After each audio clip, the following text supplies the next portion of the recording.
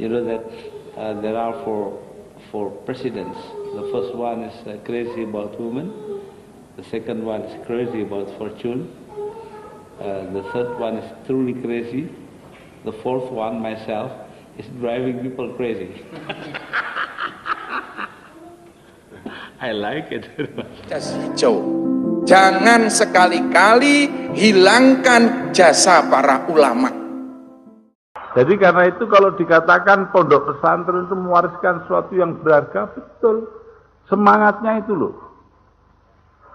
Karena semangat pendidikan di negeri kita yang tadinya itu dikuasai orang-orang kolonial, akhirnya menjadi begitu buruk. Gila harta, gila kedudukan, gila sembarang kalir itu. kan begitu ta Indonesia itu kan begitu. Presiden pertamanya katanya gila wanita, presiden keduanya gila harta, presiden ketiganya gila sungguhan.